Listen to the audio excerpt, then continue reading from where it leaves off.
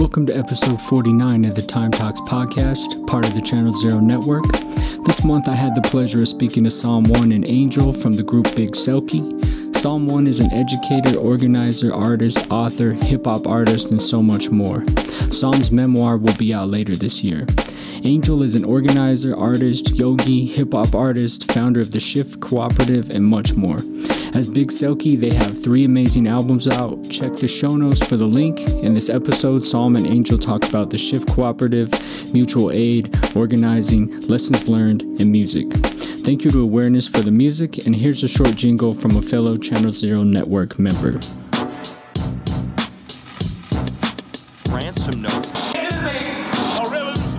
anarchist and anti-authoritarian music podcast. That's going to come out every month. Ransom what? Ransom notes. Ransom notes. So what's like? I mean, what's your like ultimate goal? I guess in, in this yeah. We out for the rising up against the oppressor. attitude that you see in hip hop.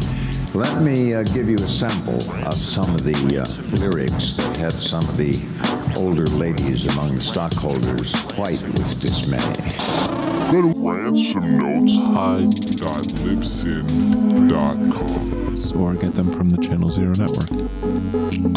Okay, so my my first question is for is for both of you, and it's it's kind of about when you had a transformational moment when you started looking deeper at the propaganda of U.S. society, maybe seeing through you know it's a process. Maybe you saw through different lenses of white supremacy or colonialism, patriarchy, and kind of when you started digging deeper into that.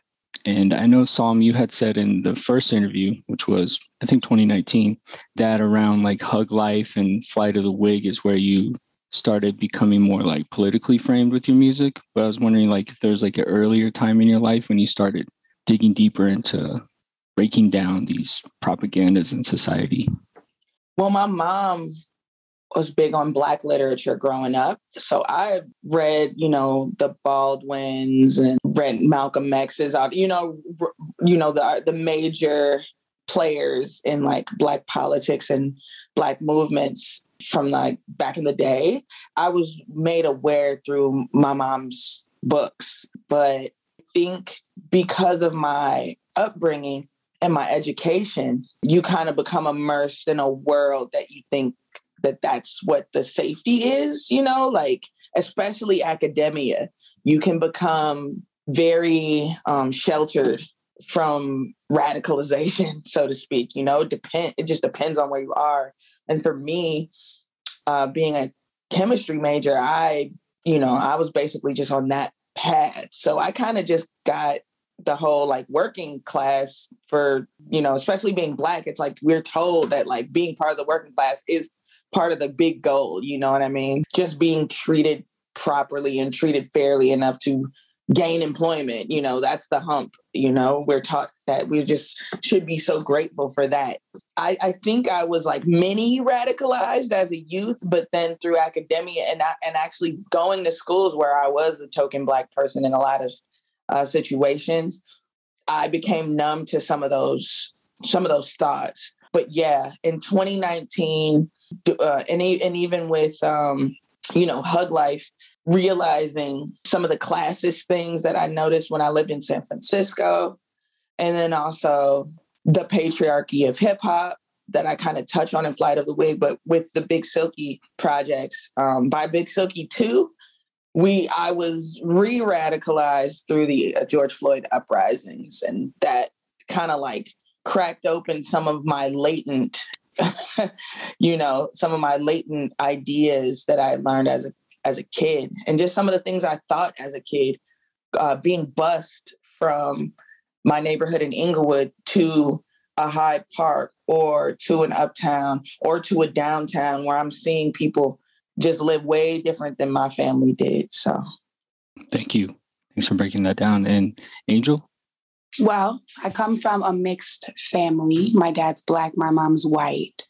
And while I experienced a lot of kind of like on the outskirts of the family racism, I didn't really become radicalized until I would say maybe 12 or 13, I had an experience uh, where the police kicked in my door and like pulled guns on my family and my my dad and me and my siblings. And I have the benefit of being lighter skinned. So I had never experienced anything like that.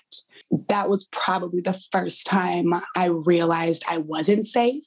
Uh, skin color, like socioeconomic background became a thing like wow we're poor and this is okay for them to do because we're poor and they're police. And then i really put it out of my mind for a very long time.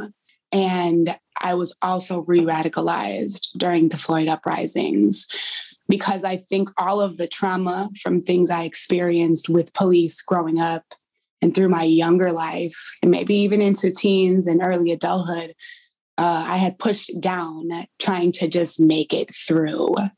I love that Crystal Alasam touched on it being like getting a job because that's kind of like where my parents' focus was too. Like they're not very radical.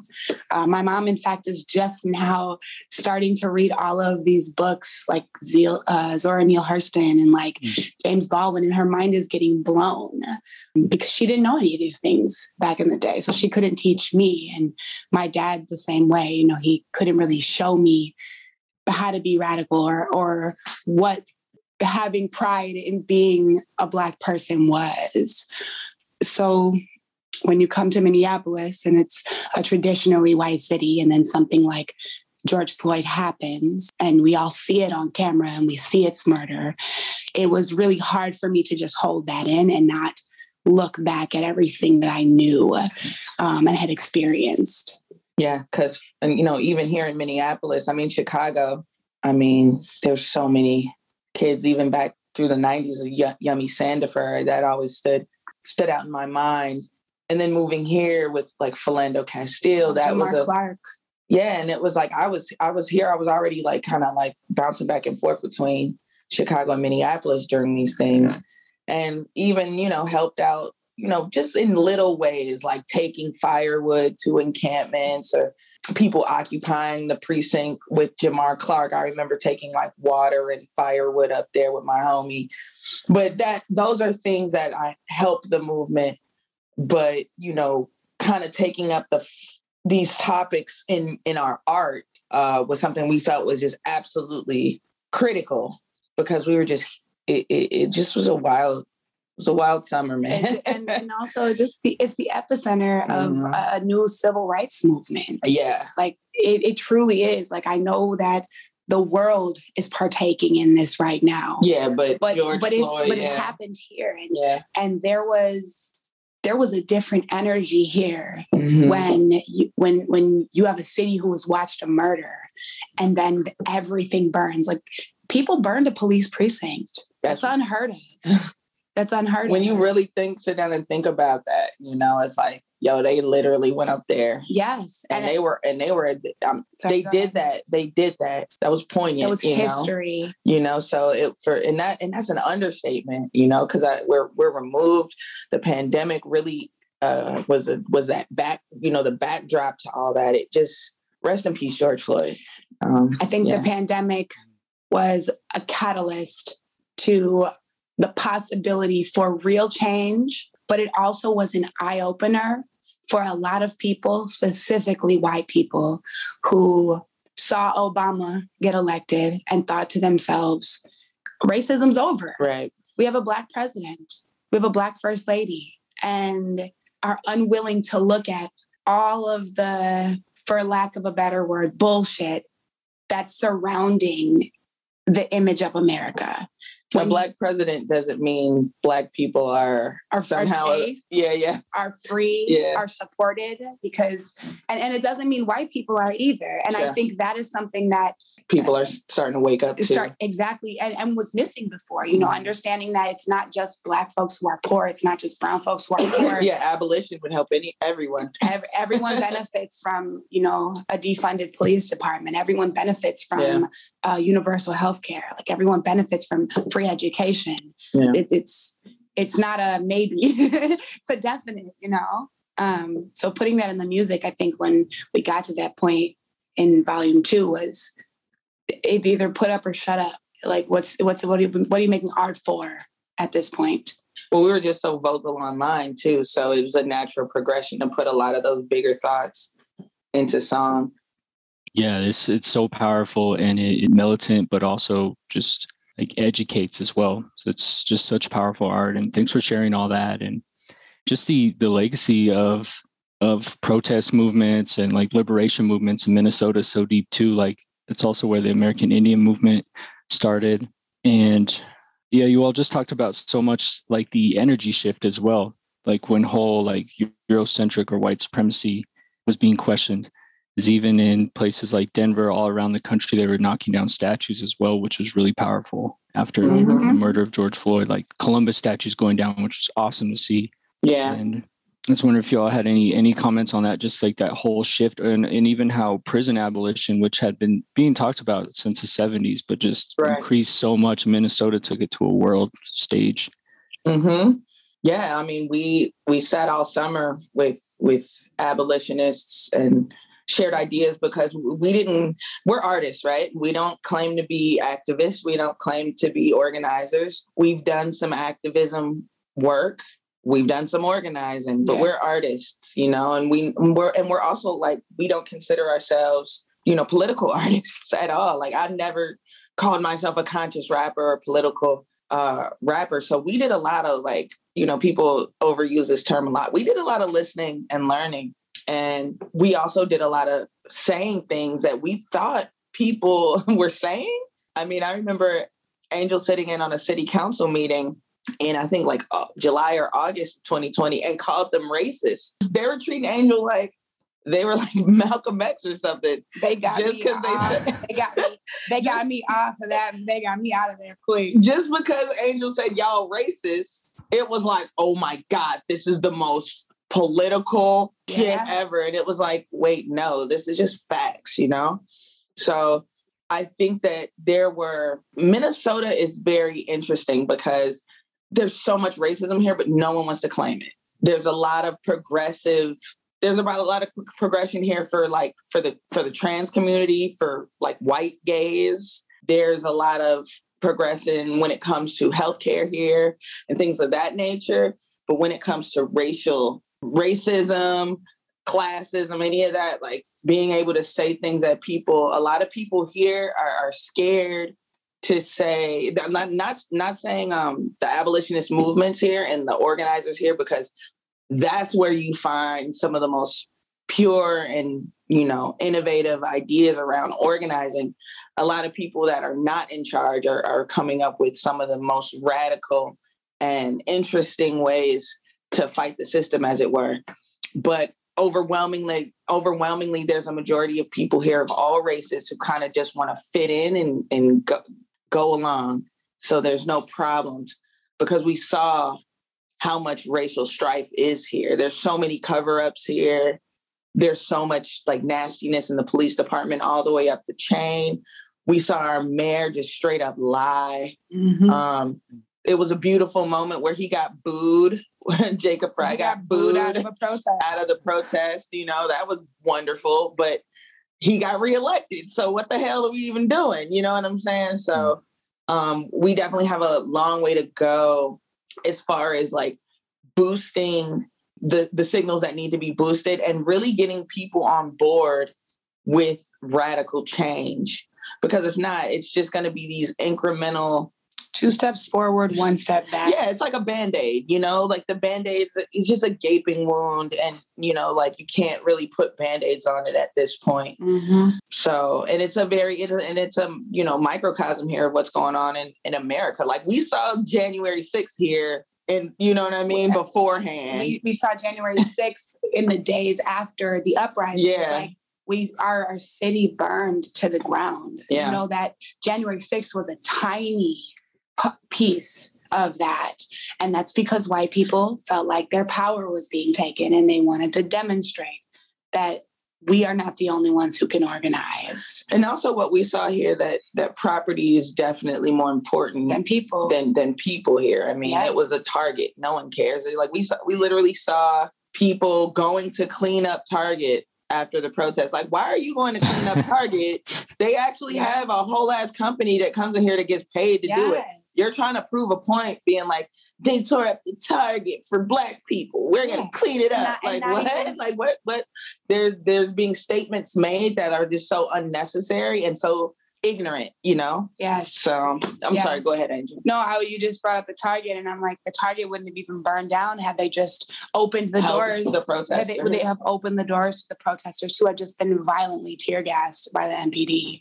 So it's like they made a choice as a company to say like, for, fuck the people, yeah. like fuck our customers, fuck the people. We don't care. Y'all can't have this milk. So yeah, it had to go. You know, like this is that what we saw here was a, a small piece of what is happening everywhere in America and everywhere around the world. and the fact that a lot of people didn't really know what was really going on in Minne- Minneapolis and, and St. Paul, like just the, the whole area, like, you know, even as close as Chicago, I'm talking to my mom, talking to my cousins and aunts, and they're like, wait, that happened? Like, they're not showing us that here, you know? And it's like, man, this is like two states away. Yeah. And we have all the technology in the world. How come y'all don't know that this happened? Yeah. You know what I mean? So at the end of the day, we realize just how corrupt Everything. ev- is. everything Yeah, is, you I- know. So You say that, and I distinctly remember um, reporters trying to cover things up until they were getting tear gas too, hmm. and then they couldn't understand. I, I remember watching the video of them laying down at the gas station, and the woman was like, "Who are they shooting at?" And they're like, "They're shooting at us," and they were like, "Oh, like they're shooting at us, but we're press." Like, yeah, because you're showing the truth, and that's not allowed. Like the truth is, I mean, they say the truth will set you free, right? Like in these cases, it really will. It opens people's eyes. Oh, I think for, sh- Minneapolis opened everyone's eyes. thanks for sharing those experiences and and yeah, I know just so many people lost eyes, and a lot of reporters lost their eyes by getting shot Mhm. with these rounds, and it was so violent. And, Mhm. and it they're was- not non-lethal. Like, you know, that's another Mhm. thing. I don't want to keep going down certain like little points, but it's like that was a lie too. Like you could die Yeah. from those rubber bullets depending Yeah. on how close range it was. And these, the, you know, a lot of the police were shooting people at close range with rubber bullets. You know, so like that can can be fatal. You know. and, and you're right; it was hard to know what was going on. I, I and also the level of surveillance that happened. I had a friend in Minnesota, and if he wouldn't wouldn't have texted me and telling me all the surveillance that had started, Mm-hmm. and then if it wasn't for Unicorn Riot, who was doing like the Mhm, live yeah. stream, I wouldn't have known what was going on either. Unicorn Riot, big shout out to that whole team because a lot of people here in Minneapolis wouldn't know, Yeah. you know? And I just appreciate everybody who like who like put their lives on the line really to to to show, you know, what really uh, was going on. And speaking of surveillance, we had a couple, you know, we don't want to talk too much about it, but like we had a couple really scary nights here at our crib. So we even got cameras that summer, summer you know, we upped our own surveillance Yeah. that summer because we're like, wait, what the hell is going on? Like, what is that car? Mhm. What are these shells doing around my Why yard? police Why- outside my house? Why are they shining lights in my window? Like that, all that shit is so scary, especially for people who are like, you know, we weren't, we didn't, we didn't do anything. but you know what I we're- mean? We're, but also we're artists. Yeah, Right. So yeah. that so that so it's like when you think about why that's happening, right? We went out and we don't I'm I'm not a frontline protester. That's not my space. That's not the space I feel is my space. But I will show up. I will uh, write numbers. I will donate money. I will and get we'll out clean there. up the aftermath Yep, and I'll- bring Pampers and water. I'll and get out there and take We'll- food we and water. Yeah. but when it's when you're doing something just in and then to me that's small you know so when you're doing something small like that like just looking out for the community doing patrols Yeah, You walking know, around. Yeah, we doing that. doing yeah. stuff like that and then next thing you know you see the police shining lights in your window or they're now coming up your block when they've never come up your block before Literally just sitting in from front of your helping the neighborhood out in the aftermath. or just your tweets Yeah, it really shows you that like they're watching. they're watching everything and if they have a chance they'll do whatever they can and and we're seeing it with people like winston smith mm-hmm. like a, a very open protester Mm-hmm. who what gets shot up in a parking garage and nobody no has camera body cams nobody has no, has no footage. there's no cameras around even though there's cameras all over that parking garage Mm. that doesn't make sense you know so it, it really tells me that the whole system is corrupt. And so yeah, throw the whole thing away. How do you like you know even going back up to to Congress? How do you pass a George Floyd like law? And and then you give more money to the police. Yeah, it's a slap in the face. It- it's a dead slap in the face. and and and also seeing the militarization of Minneapolis happen, like where uh, in the aftermath of that, it's like when the Derek Chauvin verdict was coming down, they occupied Minneapolis with tanks, army tanks, yeah, for like a week before, just to like prepare for a possible uprising with you know the the verdict coming out. yeah, And that was scary because it's like you driving down the street and see a and you fucking see tank. a fucking tank and you're like, where's the war? yeah. Oh, the war's on us. oh, got it, got it, got right. it. And it- and you see these kids in the National Guard that are like kids and they hate it, you know? You know, Yeah. walking by, get, going to the you know, the grocery store and you see like a 19 year old in full military regalia yeah, with a fucking AR-15 looking at looking at you and can't even really look you in the eye because they don't understand it either. yeah. And then you see these kids on the other on the other side who are willing to fight and die for their Mhm. beliefs. You know, like these kids who are like, I'm gonna go out there and I'm gonna protest until they shoot me Mm-hmm. or until I go to jail. Like, Because it's something. because it because it's their life on the line. It's their their freedom on the line. You know, it's it's the dream we've all been sold that that we're we're all equal and that we all have the same rights and we all have the the right to life. It doesn't seem like that when that's not what they show us. Yeah. And white people feel protected too a lot of times. And it's like, I think these times are showing that the cops are not for y'all. Either. The, you know what I'm saying? There are uh, Yeah. uh, obviously Karens out there that can cry and get the cops called, but like, there are like, you know, people always like to say, oh, they kill more white people, cops kill more white. Well, there's more people. So if you just do the ballot sheet on there, Yes. uh, black people are killed, black and brown people are killed disproportionately more than white people, but there are more white people here. So of course that's gonna those numbers are gonna shake out like that. The cops are not here for us. yeah. You know what I mean? So and there's a war on poor. So there's a lot But of also poor white, people in this country who can't fight who can't fight the system. You Mhm. know what I'm saying? Like we had a homie that ended up getting arrested during the protests and he you know he comes from you know a little bit of money like his his parents had money but they had to strain everything um to help him beat the case and all he was doing again was helping protect the neighborhood all he did was put out a fire.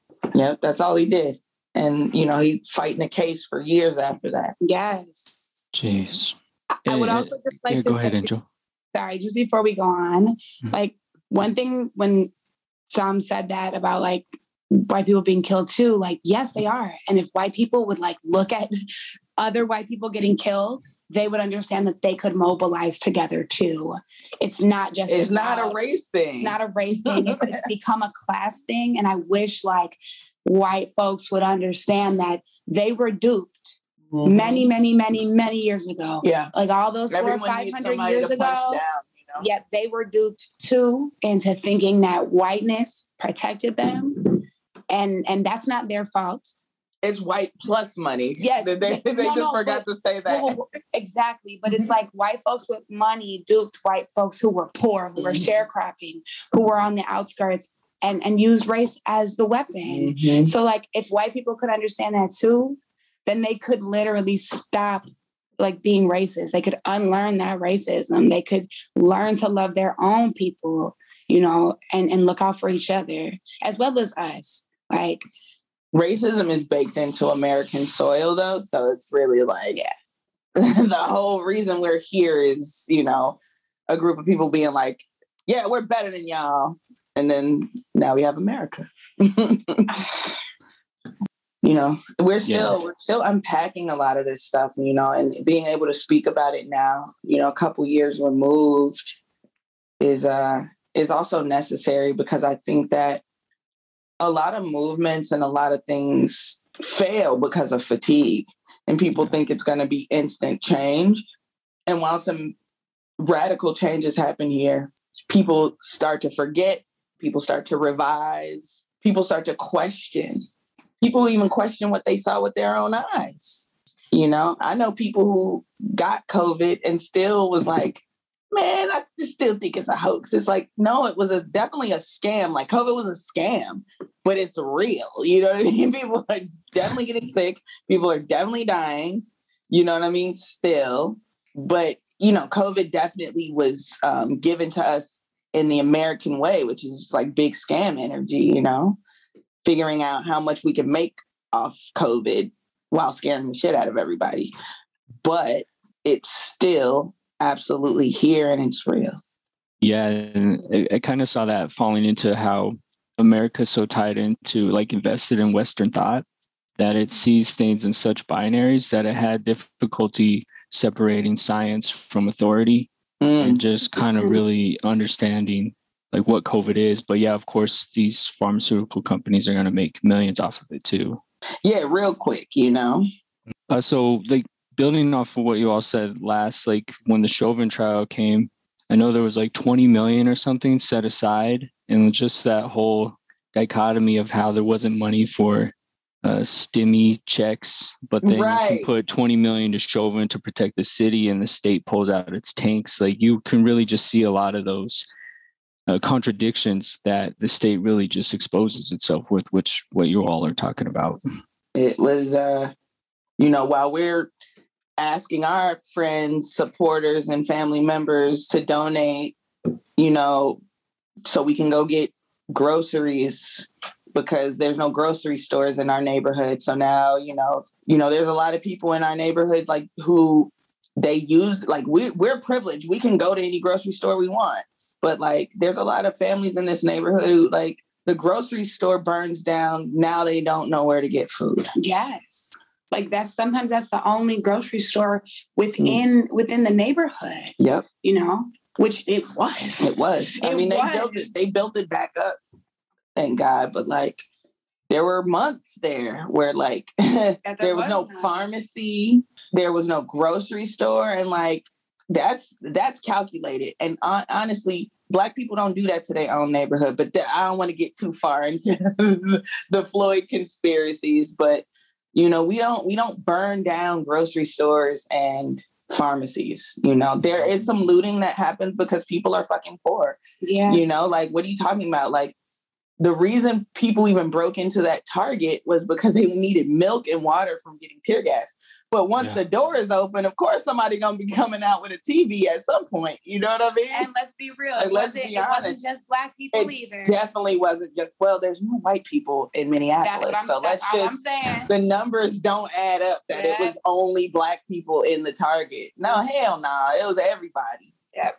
Well, since the from the George Floyd murder, this is when uh, Angel you started a Shift cooperative. I was wondering if you could talk more about Shift and the work that you all and Psalm do with what it is and what you're doing with it. Absolutely. So when the uprisings happened, we saw that there was a need for, like Psalm said, groceries. There was a need for transportation. There was a need for financial security. And we have platforms. So we we both felt like it was our responsibility to use our platforms for something good in the midst of turmoil. So we started by just saying, "Hey, I'm I'm taking donations When we made Big Silky 2 and we said well, that that first the Yeah, first we- chunk of sales was going to go right back to Yeah, the community. Yeah. And so we made uh like like two thousand dollars or something off that. Mhm. And then we made like another four thousand in donations. And then you had another platform. And then I had yeah, I had an OnlyFans. Yeah. And I said, look, I'm gonna sell this ass on OnlyFans. Y'all can come see these pictures of my ass and watch me rap. And I made like twelve hundred dollars and donated all of that. and then spanning like what six days or something. Yeah, in probably a week we raised almost eight thousand dollars. Wow. Um, and we gave it all back. Mm. We we, We gave literally families kept, money. We literally kept no money. I had spreadsheets for for Yeah. all the It was wild too because it was like the Bandcamp Fridays happened, and it just Oh, like yeah. happened to fall Yeah, during the the uprisings, and everybody was feeling you know generous and, and guilty. yeah. So that was like one of the best Bandcamp Yeah. Fridays I ever had. I was like, of course I'm gonna have one of my biggest sales day when I'm not keeping any of the money. Yeah. I mean, and God, I think God is funny that way. I think Yeah. the universe is funny that way. We you know? definitely gave away more money than we actually had, um, and I think that that was the beginning of that was of, a, definitely the beginning of shift. Yeah. And um, so we did that work when the uprisings happened. And then, although this isn't, um, so then the Me Too movement happened here as well. And we opened our doors for survivors. Um, just full transparency, I'm a survivor. Um, same. uh, so I felt compelled to do that work as well. And so at this point, we're donating like money, we're doing groceries, we're taking like diapers, we're transporting food. Yeah, going on Um, mad grocery store runs. Yep, I'm taking. like I'm that. like sitting in in my in my house with survivors, like five, six, seven different uh, people, and having conversations about like how to make this a safer scene. And then it started to dawn on me, like, yo, like. This is like work that just has to continue. And then somebody randomly gave me like 13 bikes. And I was just like, okay, this is a huge donation. What do we do with it? And out of all of that, out of all of the money and the the work and the in-person work and the bikes, we started Shift. We said, you know, we're going to give these bikes away. We're going to fix them all up. We're going to continue to donate money. We'll we'll do disaster relief. Continue to provide groceries and clothes and shoes Mhm. and support in any way that we can. And in July, uh, Shift was born. But we didn't have We didn't have we didn't have the the um paperwork. For it yeah, and our stuff. friend we yeah we had a friend who basically was like, "How much money did y'all give away?" And we told her, and then she was like, "This is America. You're gonna you're gonna get taxed on that. Yep. You you might want to think about starting uh, a nonprofit." If if this is work you want to continue to do, Mm-hmm. um, which it is. I have always been active in community work. I've always been active with kids.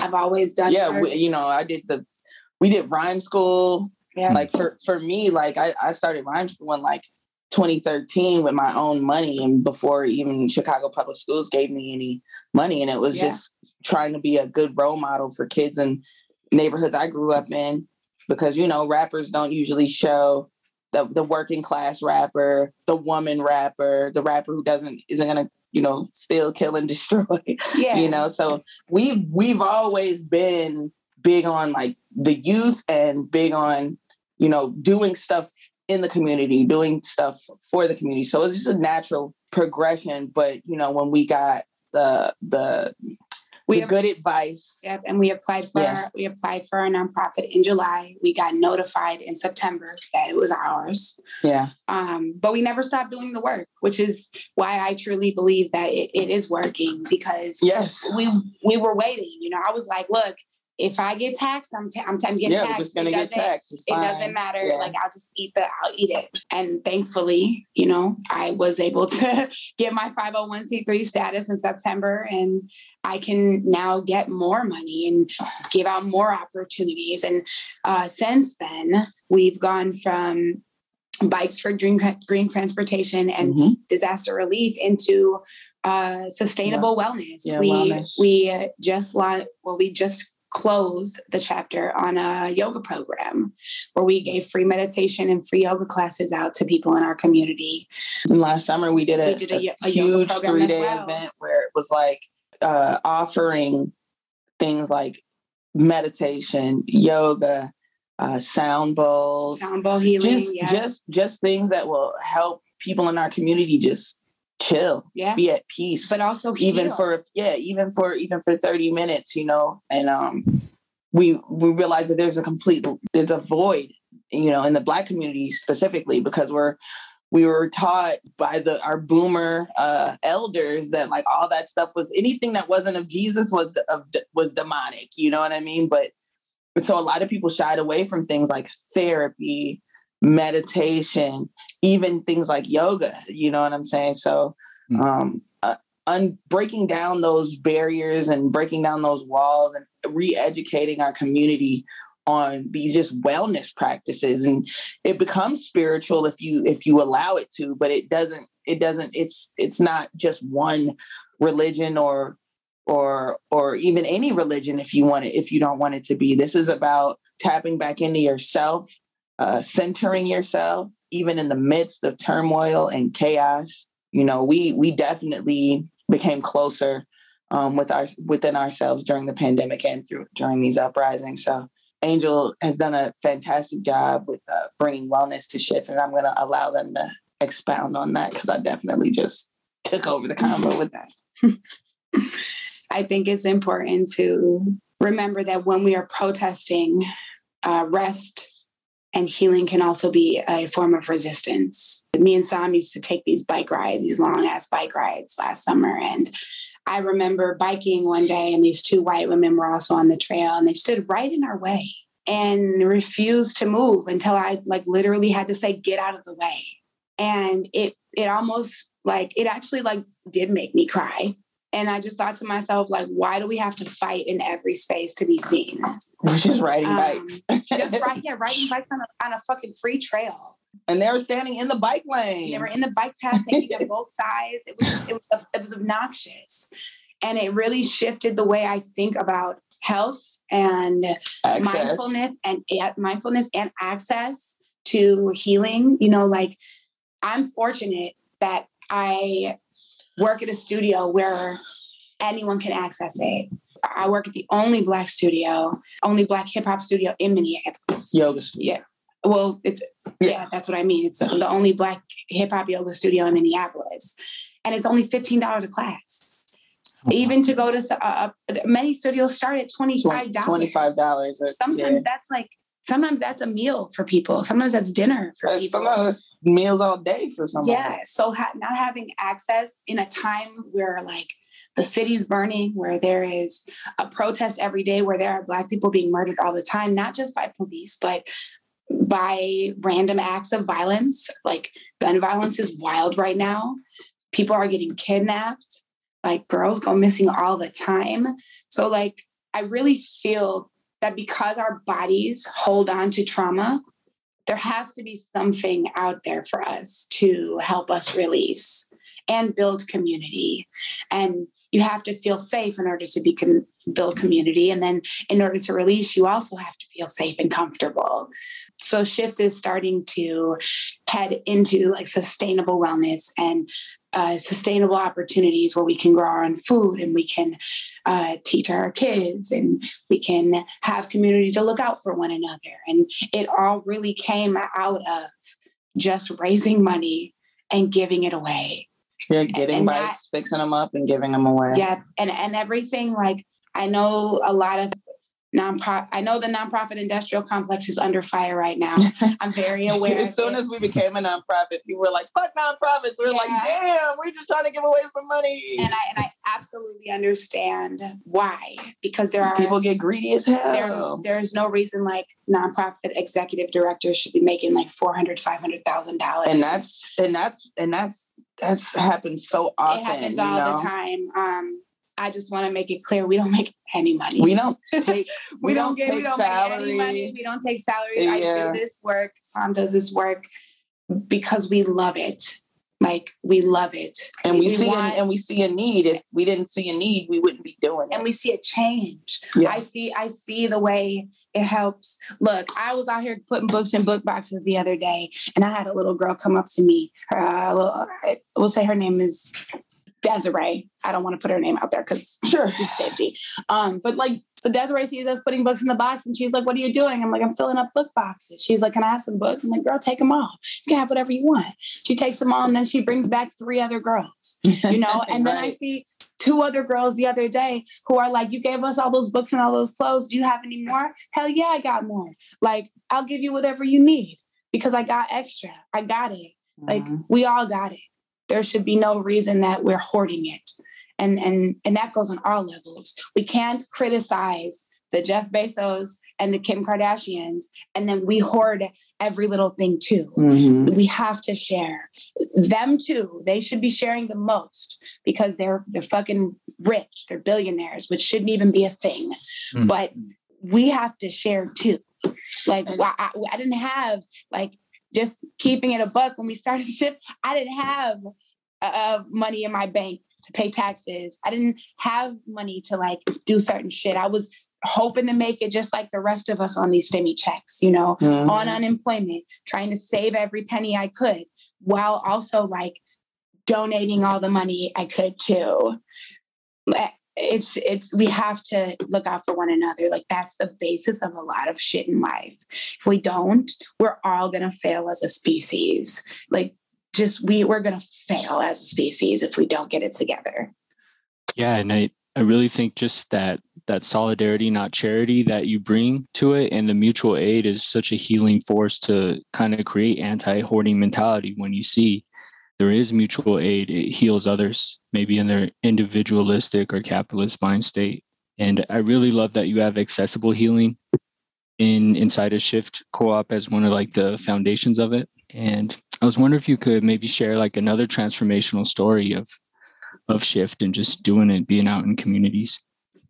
I really saw a change in the survivor work that we did because right during the shift, during like the beginning of shift, we realized that a lot of the artists kind of getting on their soapboxes and pulling out their um, bullhorns to talk about defunding the police and you know killer cops. It was hard for a lot of femme-bodied people and women identifying people here to see some people that were have been abusive taking these leadership roles a lot of artists let's just keep it a buck a lot of artists they turn political corners because it gets them more attention sometimes artists start to do charity work or community work because their name's not really popping in the streets I think the beauty of what Angel and I do, we don't care if our name is popping in the streets. So we don't use the music, we don't use the music, uh, the community work to try to boost our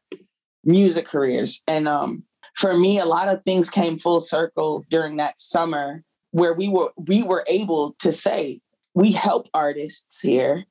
We use our funds to give to people in need we actually hold space for survivors. We we opened our DMs, we opened our backyard, we opened our our, our hearts to dozens of women who had terrible stories about local artists. And we we stand with survivors and we also know that some people put extra sauce on their stories and embellish and things like that. But there's like 2% of people who lie about stuff like that. So we're we're dealing with systemic oppression even within hip hop when you talk about patriarchy and rape culture. So while all of these things were going on, we saw I was able to see a change in people's um, perception of me because you know I I expressed my concerns and and and qualms and negative events with Rhymesayers in 2015. And then in 2020, during all of this, during the uprisings, during during the pandemic and all these things happening, this came my story came back around. And it was the people that we had been holding space for in shift with shift. It was the fact that people saw us out um, helping the community, even talking about things on our platform. And I think people people gave my story a lot more credence and and it was becoming more true in their eyes because in the 5 years since they saw what I went through and there was a lot and I was I was not scared anymore. I felt I had true community here in Minneapolis where when when we first got here I, I felt I felt almost like a target but then I found my community I found my tribe so it was transformative for me because through the community work and people who weren't really in the music scene per se, they're they were community members and people with real lives and you know they don't do the clout chasing shit. People that are really affected by by things that happen in the music scene here. I think that was a transformational moment for me personally because I realized that the community really is what strengthens individuals to start any sort of action. I don't want to call everything a movement because that dilutes, you know, the actual term. But I do feel that we had a lot of momentum with what we were what we were saying and then also it checked out with what we were doing because a lot of people talk about community this, community that. But they don't be out here. They don't really be out here, and then they'll, they'll make a twenty five dollar donation, and then they'll act like they're fucking, you know, like some some huge organizer or something. Which It's- also twenty five dollars does matter. But no, no, no. But yes, absolutely. But I'm saying they there'll be people who could actually give more, That's but they'll the give they'll give do. something little, and then they'll they'll act like they did like yeah, this great movement work. Yeah. You know, they embellish it, and and for us, it's not like oh look at what we're doing. It's more like we're doing this, and then we're also still doing music. You know, and I think all of that started to kind of feed feed each other and that's why we were able to even come up with Big Silky 3 because that was in the aftermath of a lot of things Yeah. where we were starting to look towards the future and seeing you know the seeing beyond the rubble because a lot of things burn down here existentially as well as physically I also want to add that I think um, all of the community around Shift gave Black women strength. We're not the only ones, but I think a lot of the survivor work and the willingness to say what we mean and to be unafraid. and have one thing, one thing about me, I don't care if people don't like me. I used to, but I don't give a shit no more. Like, and all of that, like, has come from me having to go through my own traumas as a woman, and and then speaking up and being ostracized yeah, yeah, exactly. alienated Speaking up against anything and being shut down, especially against men, um, especially against rappers. popular rappers Um, they don't popular people don't like to be Popular, talked about but it's like popular or not. exposed for their bad doings you Yes. know? And and the reality is like accountability, like people shouldn't be thrown away, but they should have to be accountable. Like everyone Yeah. deserves to heal. My work is not to heal uh, abusers. That's my personal preference. It's not my job. yeah but there are but there are people who will do that work. yeah absolutely There are people who will do that work. And if you're accountable, then you have the space to grow through that trauma. I think holding so much space for survivors in 2020 really opened the door for women in Minneapolis to say what they mean. And I say Black women specifically because Black women were speaking up in Minneapolis for Mhm. years Yeah. prior to the Me Too movement here.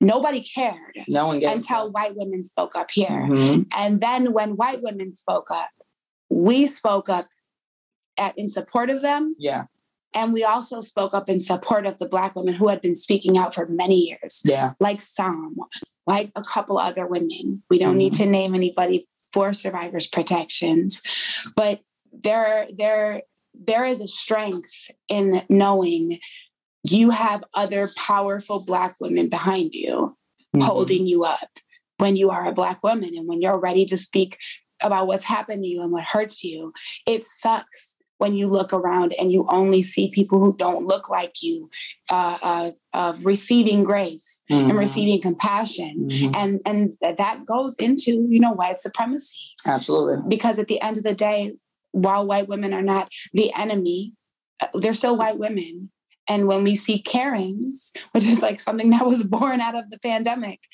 through racism Mhm. you know like that that is something that doesn't go away you know just to add that in Thank you so much for sharing those stories, and it's powerful. And thanks for what you all do. It's inspiring and it's just powerful. So thank you.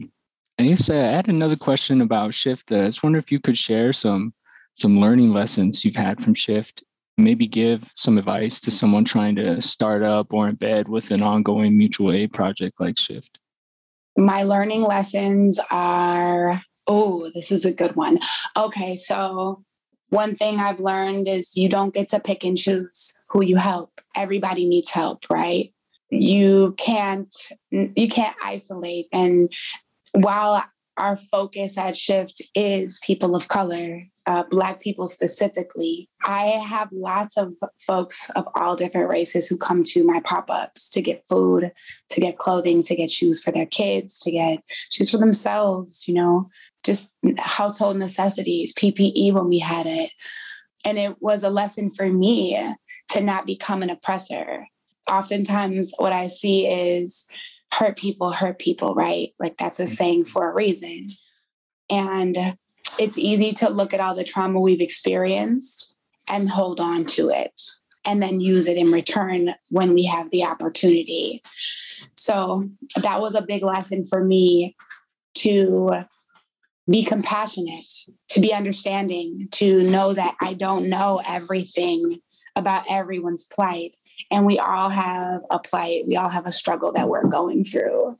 Um, now, you obviously can't come up to shift if you're driving like a Benz and you're you got you're down like you can't come up and take stuff if you're just fucking balling. That's not how it works. But you can come if you're white if you if you're poor you're you know you're welcome in my space. So that's something i really had to learn um, not to let my traumas dictate my treatment of others mm. and if and anyone who wants to start a nonprofit or do mutual aid be patient. Know that like it's not going to happen overnight. It takes a lot of work and to surround yourself with people that you trust, that believe in your mission, that will fight with you, that will fight with you to get the right things done because I know that all of my idea my ideas are not the end all be all. And I have a board that will push back on me. So I, if you're going to do it, do it. you know take the leap and do it. Don't be afraid to do it. Don't be afraid to make mistakes you're going to but do it. Mm, keep your records. Keep a, a good list of your records and just like i said to begin above all just be patient with yourself give yourself grace yeah thank you it really increased my time management because I have a lot of other things going on. So for for me being able to understand that like okay, we're doing a shift event, I'm going to have to clear my schedule to make sure that it goes the way that it should go. Um, my grandmother taught me back in the day that never give somebody something that you wouldn't want yourself. So we make it a point to like if we're collecting bikes, that we take like a couple weeks to collect bikes and make sure that they're good bikes that we can even use them and fix them up same with clothes. If we spend a couple weeks collecting donations of, of, of we, we like to say gently loved clothes, like we still go through them and we still go to an industrial laundromat and wash and, and make sure that these these clothes these clothes are, are good for people. So if we're giving them to you like this, it's going to be clean, it's going to smell good, it's going to be ready to wear. Even with the food we we try to make sure this is food that we would want to eat ourselves you know mm-hmm. like i remember we got a generous donation from trader from trader joe's um, for one of our events and people kept coming up like dang you got almond milk? Dang you got the good chicken? It was like yes like because this should not be such a luxury for everyone you know what i'm saying? Yeah um so for me it's about making sure that when you give, you give things that you, you yourself would want, and also to clear your schedule. You know, if you've got a lot of things going on, like compartmentalize and and and organ be organized. You know, organizing it's in the word. You know, and I think a lot of people don't understand that. We don't like to throw stuff together. We've been event planners as just rappers who do our own shows anyway. So yeah. we come with kind of a skill set that helps with the events that we we do the pop-up markets and when we partner with other organizations to do community events and things. I think that we are able to run successful events because of being organized and because of also being meticulous about the things that we that we give. Mm, I love that. Thank you.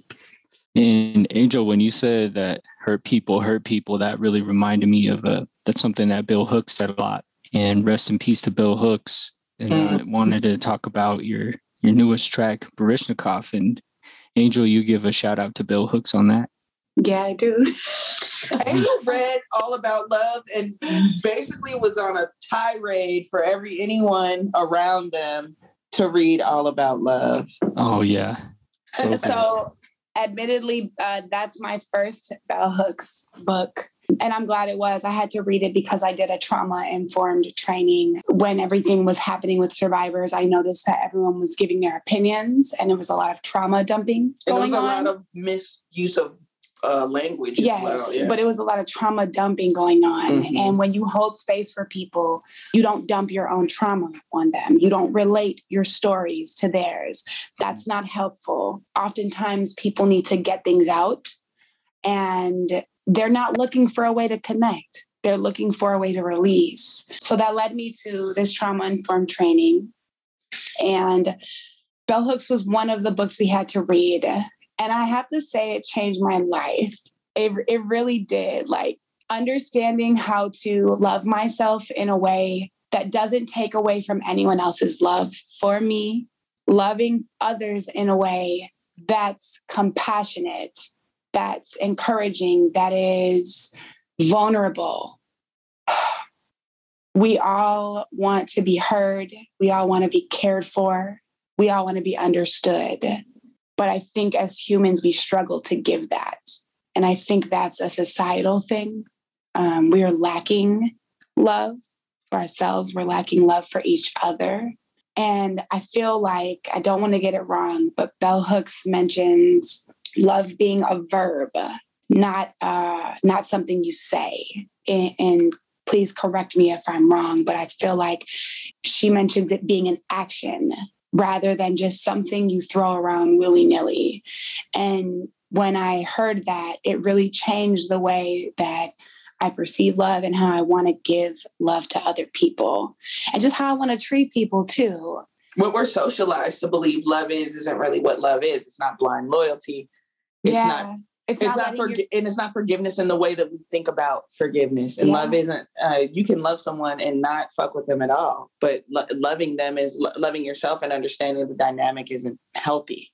You know, and that's just one example. But yeah, we're definitely people don't know what love is. People don't know what love feels like, but people use the the word all the time. And even though it's it's it can be very subjective, I've been shown more love with the community that we built in the last two years than the hip hop community that I'd known prior because that love is different and it's superficial and it's it is based on my talents and my skills, but it's also based on my proximity to success, right? So a lot of community members in music will treat you a certain way because you got something that they didn't get yet. Mm-hmm. Whereas the community that we built the last few years here has been it's literally been based on what can I add, what can I give, what can I offer, and I think that is a fundamental difference, and that that shows love. Love is you know what you can give in spite of the circumstances, you know, and and it has nothing to do with sex or power or anything like that. You know, it, the the power is in the love. Yeah, I don't want to get too uh too deep into the definition of love because I don't have it. Well, I had to look it up because I wanted to make sure I had it Absolutely, right. yeah. Bell hooks, and I, I feel like she defined it from Eric from someone else. Oh, Uh, Eric Fromm. Eric That's- Fromm. Yep. mhm. Um, and it was love as the will to extend oneself for the purpose of nurturing one's own or another's spiritual growth, Mm. which blew my mind because it made me think like, damn, how do I contribute to other people's growth now? Mhm. How do I create sustainable opportunities, even in just my personal, intimate relationships? How do I create space for the evolution of myself and the evolution of others? And how do I consistently do that? And how do we make the space safe for that? Because Yes, for everyone. well, in, even in like a you know a regular like uh you know even a just a normal two person relationship, romantic or otherwise, sometimes people get threatened by another's eleva- elevation, evolution, growth, whatever you want to call it.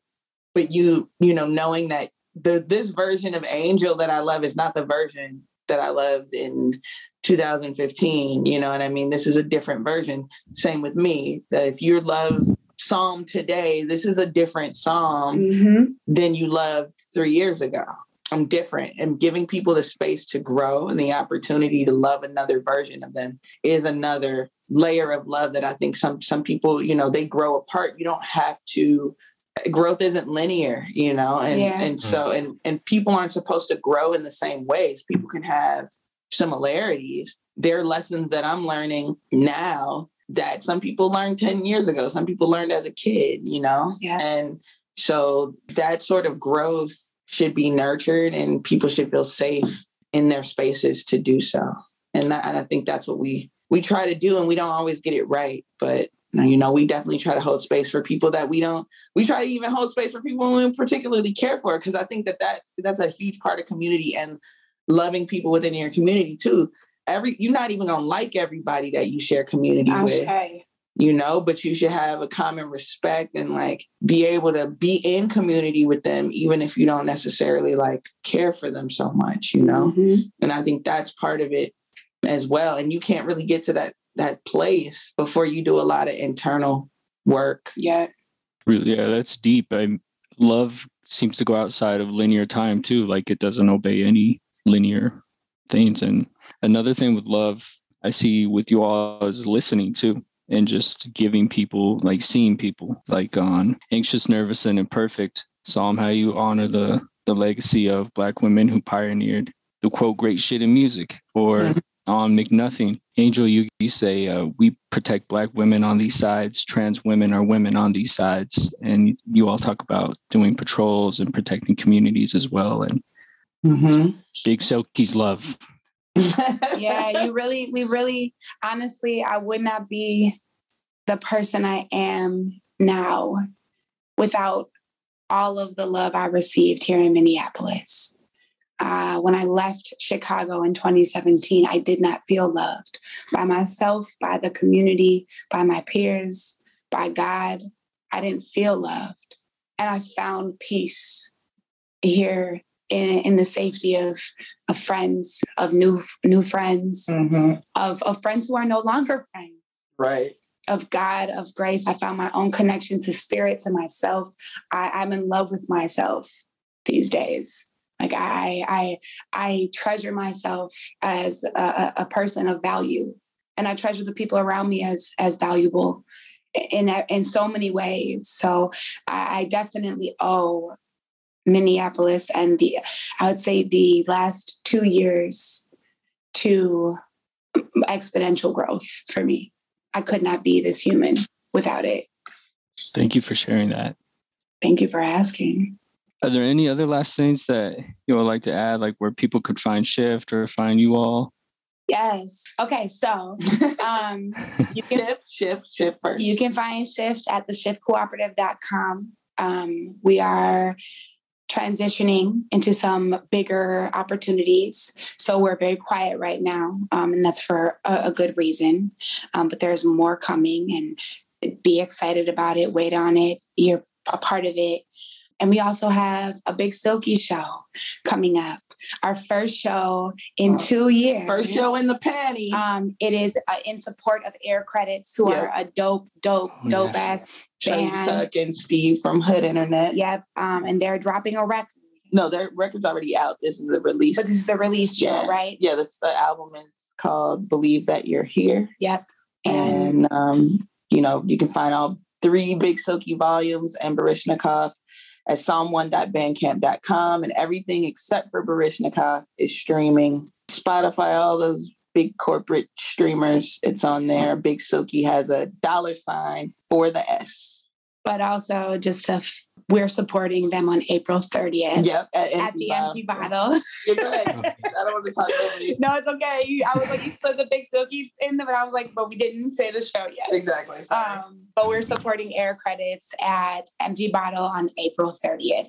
Tickets are only $10. So d- please don't ask us for no list. Anybody listening, please uh, support us. Understand that we are artists and we are sensitive about our shit. And we deserve that little $10 because it makes a- it makes up. It adds up. and uh, Empty Bottle is in Chicago. So if you're not in the Chicagoland area, maybe want to take a road trip. Maybe you want to take a six hour drive or a one hour flight. If, if you're from us. Minneapolis, if you're from anywhere else in the world, you still can come. Uh, you just have to pay for you know your transportation. Come come holler at us in Chicago on April 30th. Yeah. It's Big Silky, bitch. Let's come clean. My foot on they necks. I've been planting seeds, reading Coates and hooks in bed at night. Come let me set the scene. Eating good pussy, drinking Cabernet and smoking weed. Chasing purpose, fuck your profit. This off top, it ain't no game. Clips stay loaded, no, I don't control none. God gon' make a way. I've been rapping all these years and finally got some shit to say. Ain't no bench now that can hold me. If you then you golden. I got heart, niggas know it. I done sparked too many moments. Neil told me I was humble. Watch me shake the whole persona. I'm a diva and a omen. No, I got it from my mama. I ain't with the drama. I don't got the patience. If it's meant for me, you know I gotta take it. Ain't no conversations. I'm applying pressure. Diamonds all around. We making niggas better, better, better, better. Watch what you speak. Bow. Karma blowing on the wind now. Only working with intention. Culminate a vision I could never miss now. I just blossom with the grid out. Ah. Energy up in the crib. Wild. Aura feeling like a gift. Power brewing all up in the mix now. And calling me a champion. Y'all know she not bragging. It's that magic. Everybody on my altar popped out when I landed. This big silky kid, this that filthy shit. Smoking super glue and plotting on these options I commit. Everybody on my dick. I can't see you unless you're riding for all. New number, I can't pick up the call. I've been balling on the low, mind my business. Finish whipping, I ain't fucking with y'all. Never tell them before you finish the mission. Shawty want my kisses off a commission. I've been told them little bigots good riddance. Every now and then I buck at them bitches. Not that je sais quoi. I don't mean to piss you off. Mikhail Baryshnikov. Gliding through the mist and fog. I dance through end zones. Fuck your info. Grab the tempo. High potential. Mind your mental. I get crystal like this shit's on fire. What you doing with your life? No, I can't really be your wife. The juice, the blend, the truth be them. Don't move too friendly. Stop it. I choose these ends, the means within. I push that product line. Go, that bitch is me. That shit one free. I fall like Elder Tubman. Yeah, we both got heat, but over here, these ones I buzz some. Fuck they mindset up, then Kizzy vanish like a vape hit. Don't let nothing moon, you ain't gon' see me like a rape kit. Ain't that petty? I stand with survivors till they dead me. Nobody eat like me, I act like mama never fed me. Yikes. Oh, yeah, I can help you make your video. Really? Yes, this is what I do. Well, you're also a principal, so. Yeah, but this is my art. I write, I edit, I direct, I do the music, I lip sync. Because of me, when people say that their favorite director is that Ava lady, somebody else gotta be like, which one?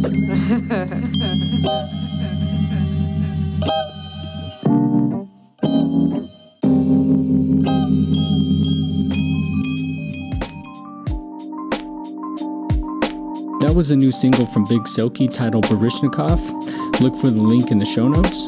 I want to thank Psalm and Angel for spending some time to speak with me. Please support their music on Bandcamp, follow them on social media. Please donate to the Shift Cooperative for all the important work they're doing. Thank you to Awareness for the music, and see you next time.